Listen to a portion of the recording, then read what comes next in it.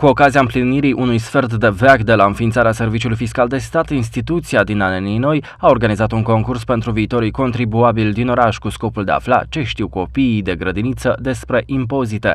Concursul a fost unul cât se poate de serios, preșcolarii urmând să răspundă la întrebări de genul ce sunt impozitele, de ce trebuie să plătim impozitele, ce se întâmplă dacă nu plătim impozitele.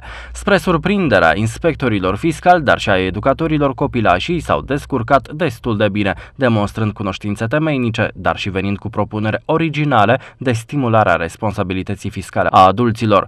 De asemenea, au participat la concursul desenelor pe asfalt, astfel drumul din piața principală a orașului s-a transformat pentru o zi într-un mare stand al picturilor pe teme fiscale. Cei mai buni dintre micii experți fiscali s-au ales cu daruri din partea organizatorilor.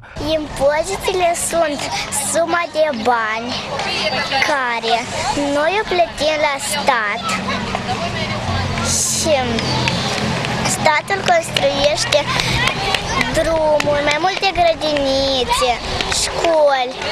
Налог – это когда наши родители платят часть зарплаты государства. Нам нужны налоги, чтобы, чтобы наша страна была богатой.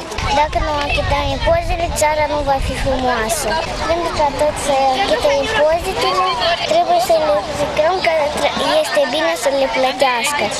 Pentru ca să-i convingem pe oameni, să le spunem părinților că dacă achită suma de bani, a să le dăm câte un cadou copiilor.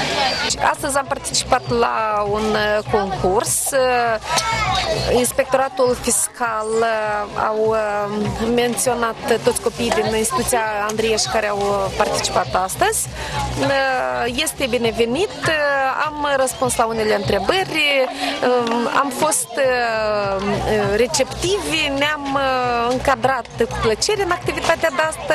Este o activitate binevenită și cred că pe viitor să, să fie o continuitate frumoasă.